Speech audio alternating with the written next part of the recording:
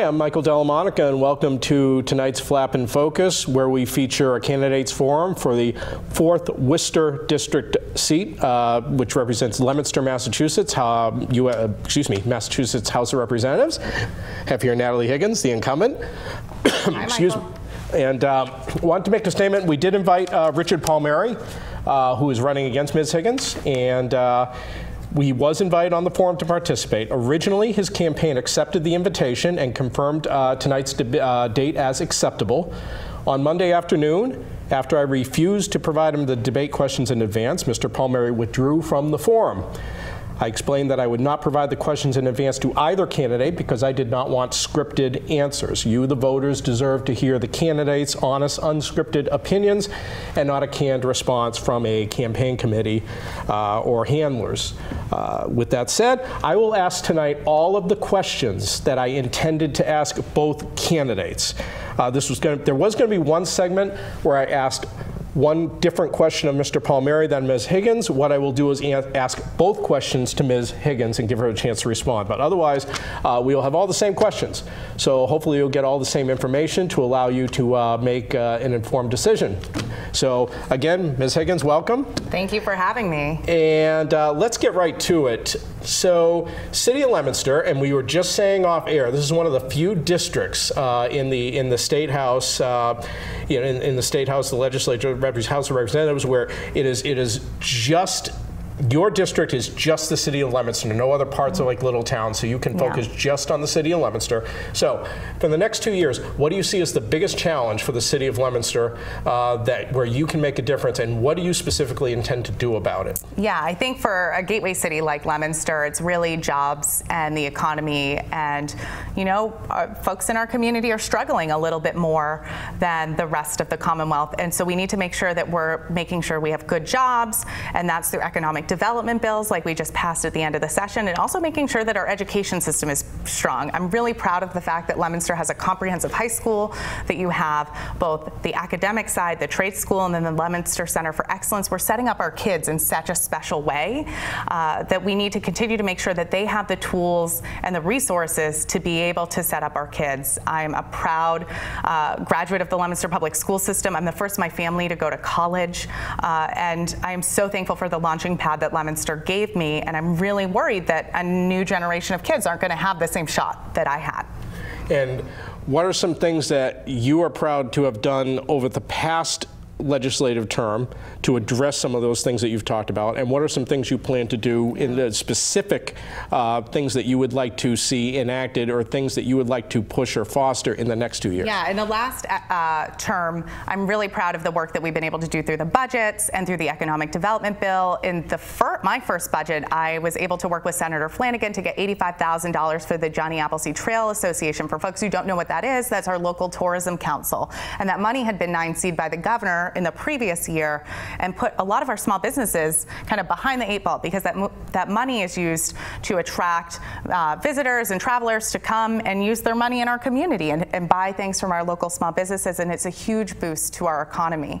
and also finding ways to invest in our schools and being a real outspoken advocate for uh, a reform to the Foundation Budget Review Commission. We almost got there this session. I think we had some really great uh, ground game and, and a starting point, but that bill ultimately didn't get finalized in the end of session. And so we really need to make sure that gateway cities like Leominster, with English language learners uh, and low income students, are getting the funding that they need.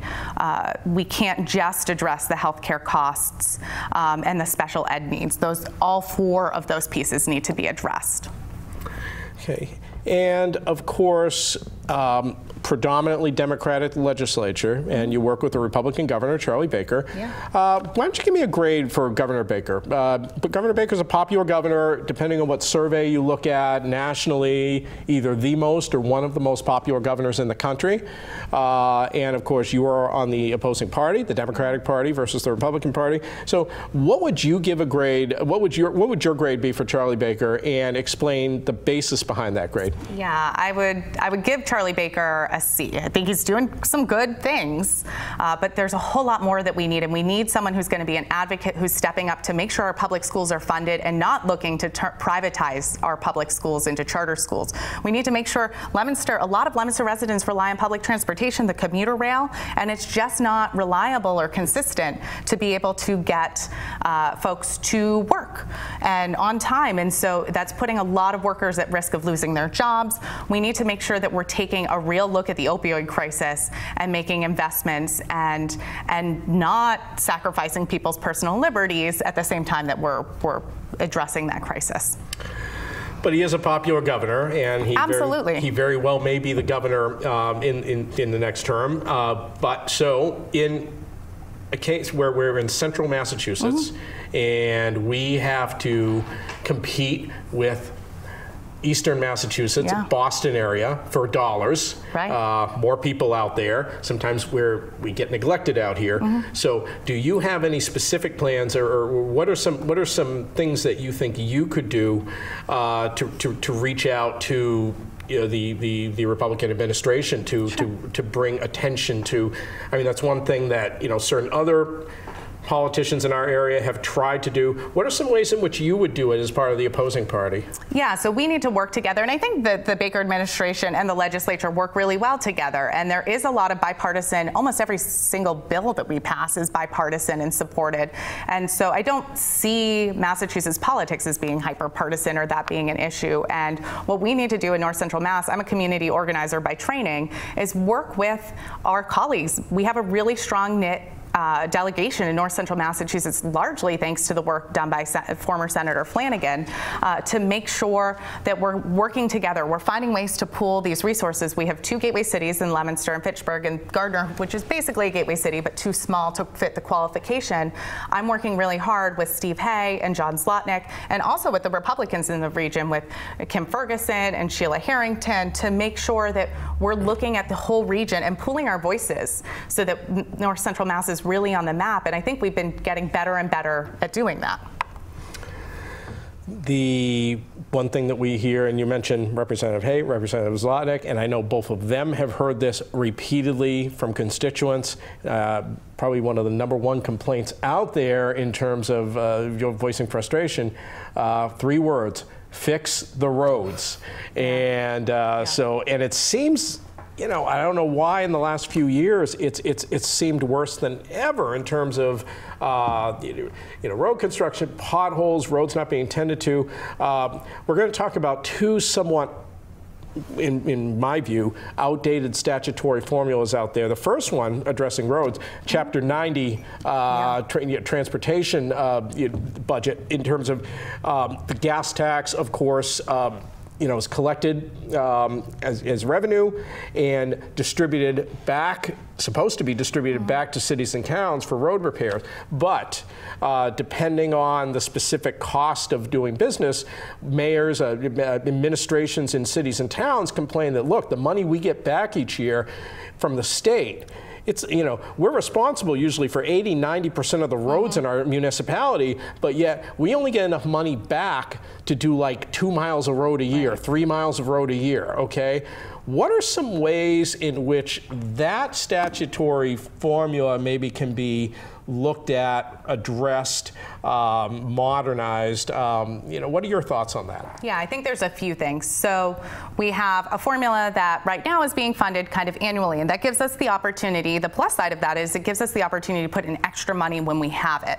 But the problem is for particularly small communities, they can't budget for that. They have to save up a couple of years to be able to do these major projects. So Leominster lucks out. But also this was one of the reasons why I was such a proponent of the fair share tax and making sure that those who make the most money in our communities pay the same rate as us. Like they shouldn't be getting a break. We should all be paying the same fair share, and that should be going to things that are the public good roads, everyone benefits from this. Public education, everyone is benefiting from this. And we need to make sure that we have the resources to be able to do that. So just the way that we're looking at the foundation budget review for schools, I think we need to look at the Chapter 90 formula and make sure that it's really adequately addressing the needs of these communities and as we're looking at ways to combat climate change and address a, gr a greener economy, look at things that aren't penalizing commuters out in, in central and western Mass who are driving to, to maybe better paying jobs in Boston. We need to make sure everyone is chipping into that system and not putting the extra burden on us who, who are living outside of the city. Okay, and you mentioned sort of in passing, you mentioned the, the, the, the fair share, the fair share proposal in terms of basically raising taxes on well, you, you describe it Yeah, because sure. you know what we hear. Well, raising tax, you, you, you see flyers from, from, from, from organizations. You know, you raise taxes 80% on this one or, or, or this percent on that one.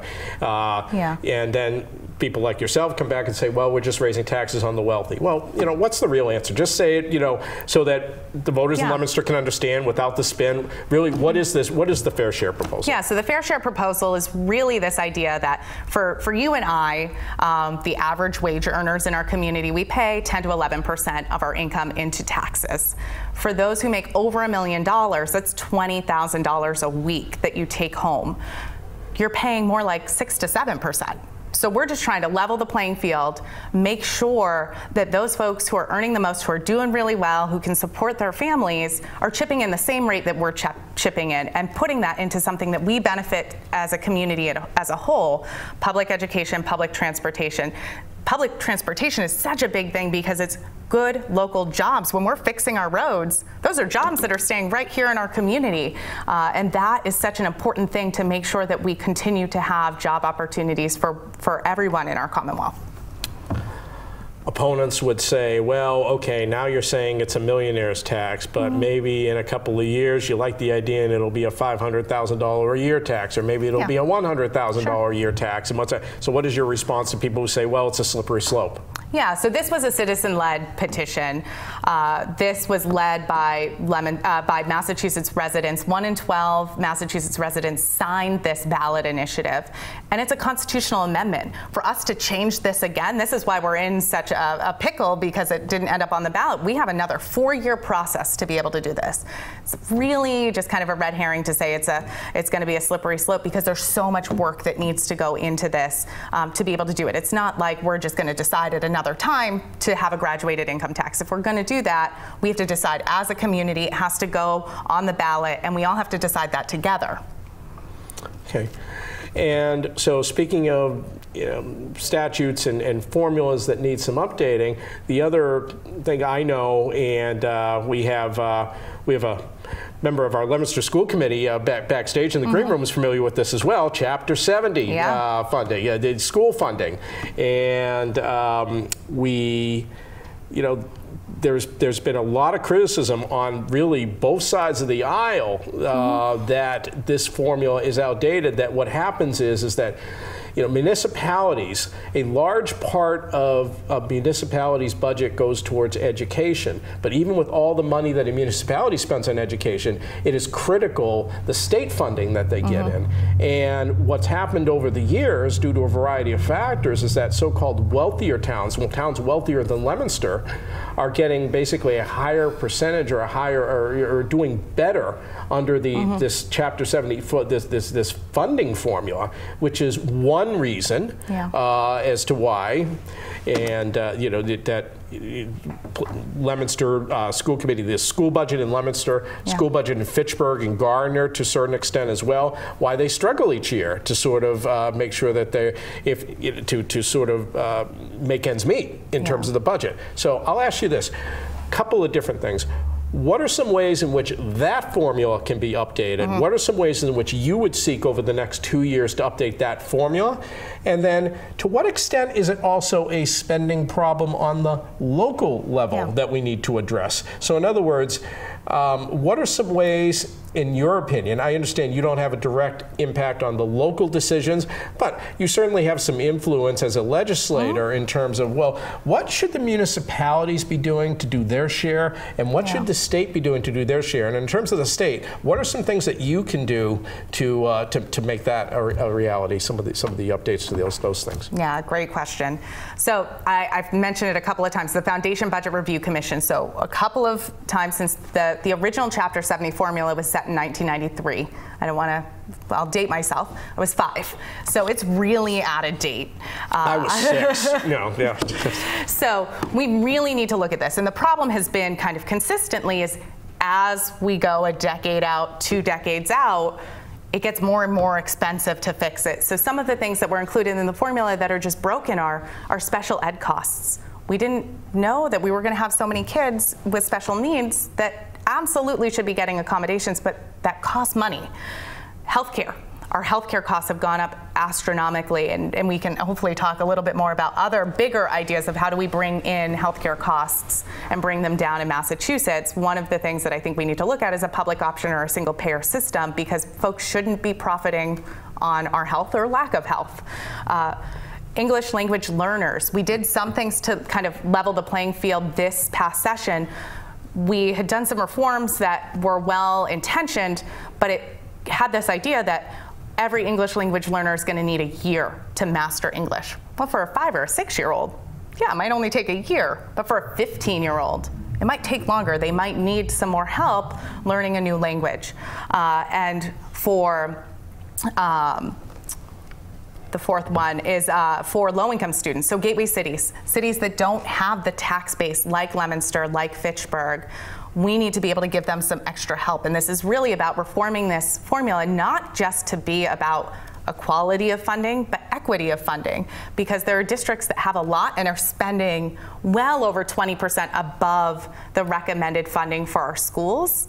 Uh, and cities like Leominster that are hovering around uh, the, the kind of net school spending. And so I do think that that's also a priority at the local level, and I'm so proud of the work that our school committee has done in this budget crisis and our superintendents and our mayor to figure out how do you have that conversation um, and where does that money need to come from. And families are struggling in Leominster. We need to find a fairer way, and the state needs to kick in more money. But in the meantime, how do we prioritize the funding to make sure our teachers have what they need, our students have what they need, and they can excel well in school?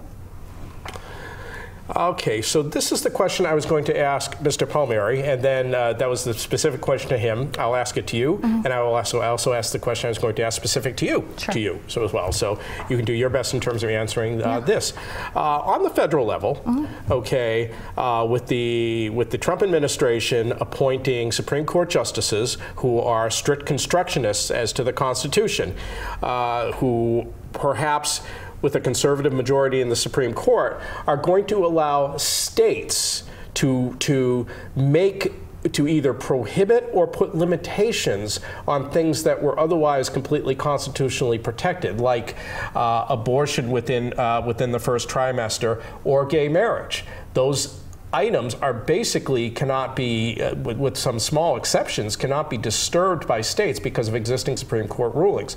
If the Supreme Court were to rule that states could now make their own rules on those things in terms of gay marriage, in terms of either restricting or prohibiting abortion, uh, how would how would you uh, come down on if, if you had the opportunity, if a proposal was done to limit or restrict uh, to, or, to either of those items? What side would you come down on? Yeah, we're already taking steps to make sure that the protections that are already in place remain in place in Massachusetts. So for a woman's reproductive health care access, and that's not just for abortion, but for all other forms of, of health care access that are so vital. We want to make sure we pass the access bill, which makes sure it closes um, it makes sure that women have access to birth control. We passed the patch bill this session, which closes a loophole in our HIPAA reporting where uh, folks could find out kind of what kind of healthcare access you were getting based on being the, the primary holder of the insurance policy, which doesn't exist in any other situation. We wanted to make sure that that was closed. And then right at the end of the session, we repealed the archaic laws that dealt with a lot of um, reproductive health choices to make sure that if the federal protections fall away, Massachusetts is still protected. And I hope that folks do a lot of research. Uh, I'm going to continue to stand up for LGBTQ rights. I want Massachusetts to continue to take the lead to be inclusive and safe and welcoming for everyone. Um, and we have a ballot question coming up uh, that is seeking to actually, for the first time, take people's rights away. Um, it's question number three, and it's seeking to take away transgender public accommodations rights. Right now, folks are protected, but if this falls away, that means a Starbucks worker is protected based on their gender identity, but a customer isn't. A student who's in school is protected, but if they go on a field trip to a museum, they might not be protected, and that is unacceptable. Discrimination has no place in Massachusetts. And then the question that was going to be specifically for you, um, and Mr. Palmieri would have had a chance to rebut it, uh, you would have had a chance to rebut the uh, mm -hmm. answer to that question, is, is this. This is a, Leominster, if you, if you look at the demographic in Leominster, a lot of independents, a mm -hmm. lot of good share of Democrats, uh, but it's what I like to describe as sort of JFK Democrats, conservative Democrats, uh, people who have a conservative streak to them, okay, uh, in, in terms of Leominster. We do have a conservative streak. Uh, there, one criticism of you and of some of the things that, that you are prioritizing is that you are, have progressive ideals and that and that what your opponents are saying is that you are not in step necessarily with uh, the more blue collar conservative Leominster uh, you know voters in terms of a couple specific example gun rights because uh, you know you supported you voted for Leominster's version of the red so-called red flag bill mm -hmm. in terms of uh, you know, the um, the, the, sanctuary city, sanctuary state debate, and in terms of the whole, well, when you were first in the, you know, the headlines that were made, the whole pay raise mm -hmm. uh, vote. So yeah. it, here's your chance to sort of explain to the voters of Leominster, look, uh, you know, what, what, what is your justification for what is seen by many as mm -hmm. progressive views on gun rights, pay yeah. raises, uh, sanctuary city, sanctuary state? Yeah, so uh, that's a lot. So I hope you yeah. give me a, a, little bit to unpack that. So I've been born and raised in, in Leominster. I own my great grandparents' house. My roots are here. I love this community. And I grew up in a working class family. My dad didn't finish high school. He worked his butt off to make sure that me and my brother had a better shot than he did. And he's a really successful small business owner now. And those stories often don't happen anymore. And I want to make sure that folks can work their butts off and succeed. And that's why I support a lot of the policies that I support. And I don't think that I'm particularly progressive or radical. All of my experiences are based in growing up in a working class family who felt like government wasn't working for them. And that's why I was so excited to run for state representative in 2016 because Leominster's really spoiled, and I feel really spoiled that we get one state rep for our whole city. That's a really unique position to be in um, and a really unique place to have an advocate. And I've been focused on my first term in meeting Leominster residents where they're at, having weekly office hours, both at night after hours from 5.30 to 7 at the Leominster Public Library and early morning from 7 to 8 a.m. Uh, at the Leominster High School every single week because I want to make sure Leominster residents, no matter what your work schedule, have access to me. And it's why I show up to things like Flap TV and participate in social media. Uh, and last summer did community forums on issues that I was hearing the most about from constituents, education, transportation, the economy and healthcare. I am here to listen to you and I can only be as good of an advocate for Leominster as you are reaching out to me and I'm so thankful for everyone who shows up to talk to some of those issues that you brought up. The extreme risk protective order. I serve on the mental health, substance use and recovery committee and I'm really thrilled to be able to continue the work that Senator Flanagan had done. We served on the committee together before she uh, stepped down to, to take over on the Cannabis Control Commission.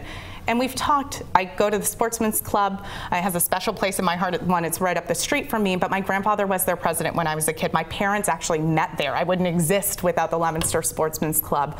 Um, and for a lot of gun owners, the status quo of, of having unilateral authority in the police chiefs, if someone has a mental health crisis, was really problematic. And this extreme risk protective order really worked to make sure that it understood that a mental health crisis can be acute in time and it can be temporary, and you can be a safe and responsible gun owner later on after you get the mental, mental health care that you need. And so I actually, in talking to a lot of gun owners, they were excited about actually having standards and knowing and that there was a judicial review process and that it can be uh, appealed.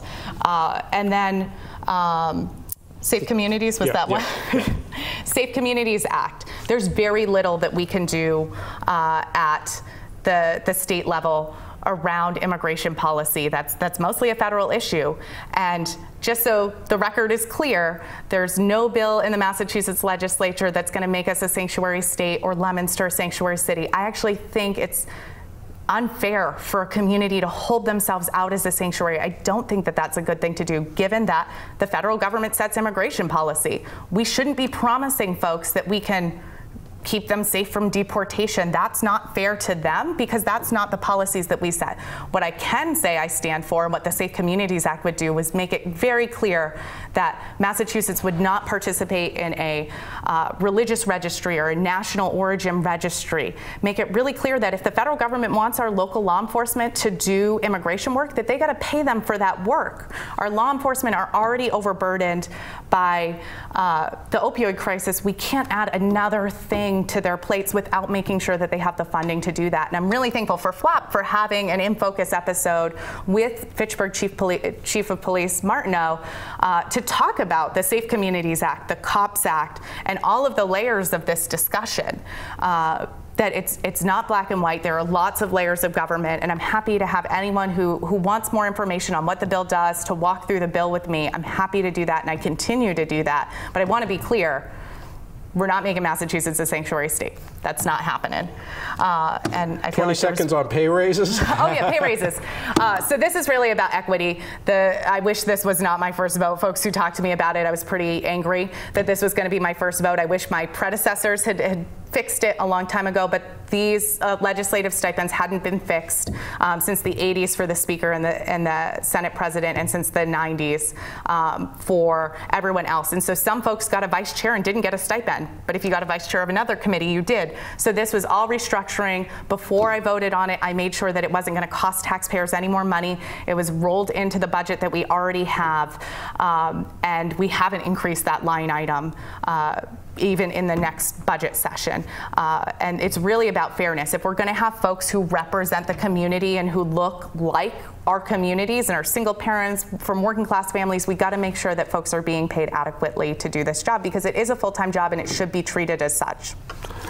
Natalie Higgins, uh, thank you very much for, for doing this. Uh, very informative, and uh, thank you for coming on. And what's important, uh, folks, is that uh, we don't have a primary for this particular race, so you just you go out and uh, vote in November and get yourself informed. Thanks for joining us. Um, I don't know, do we do we have time, folks, for, for Natalie to just give a couple closing segments? We got we have we have yep okay. A few minutes. Yep yep. So if you want to give a yeah, closing. Sure statement? No, I want to thank everyone in Leominster who supported my original candidacy. It has been an honor and a privilege to be your state representative for the first uh, two years.